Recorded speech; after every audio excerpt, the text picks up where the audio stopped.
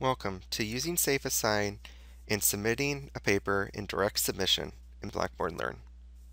SafeAssign is a plagiarism prevention service offered by Blackboard Learn to detect unoriginal content in student papers. Instructors have the ability to create safe drop boxes for students to submit their papers, or instructors can submit the papers themselves by using Direct Submit.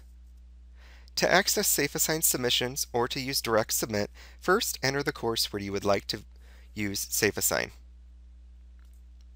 Once you are inside the course, scroll down to the control panel and click on Course Tools.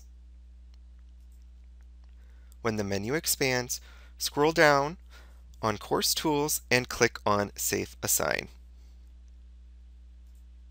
On the SafeAssign screen, you can either view the SafeAssign drop boxes by clicking on Safe Assignments or clicking on Direct Submit to manage and submit papers in the SafeAssign service. For this video demonstration, we will use Direct Submit to directly submit a paper.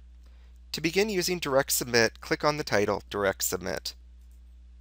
On the Direct Submit screen, you have the option to add folders, and organize your content as you desire.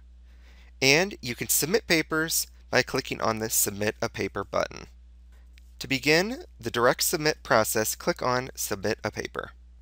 When the option expands, you will have options to submit the paper as a draft, where it does not add papers to the institutional database, or to skip the plagiarism detection and only add papers to the institutional database.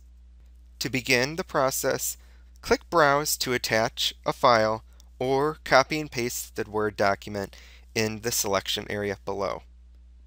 For this video demonstration, we will attach a Word document. When you are ready to submit the paper, click Submit at the bottom of the screen. Depending on the length of the paper, it may take a moment for the essay report to generate. Your SafeAssign report will be available once you see a matching percent and a green checkmark in the SafeAssign report column. A matching percent is available.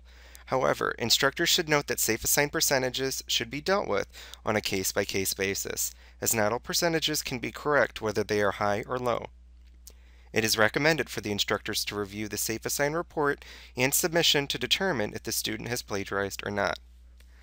To view the SafeAssign report, click on the green check mark in the SafeAssign report column. The SafeAssign report will contain the owner, the file name, the matching percent, the submission time, and options to save the report, print the report, or to provide a direct link. Suspected sources are available, which are possible sources that the students may have pulled unoriginal content from. Below the Suspected Sources section is the paper text where you can review the student submission. Within the submission, you will see entries that are highlighted in blue, which will reference possible unoriginal content. The numbers next to the blue text will represent the SafeAssign suspected source. You can click on each of the suspected sources to go to the source itself. This has been reviewing a SafeAssign report through direct submission in Blackboard Learn.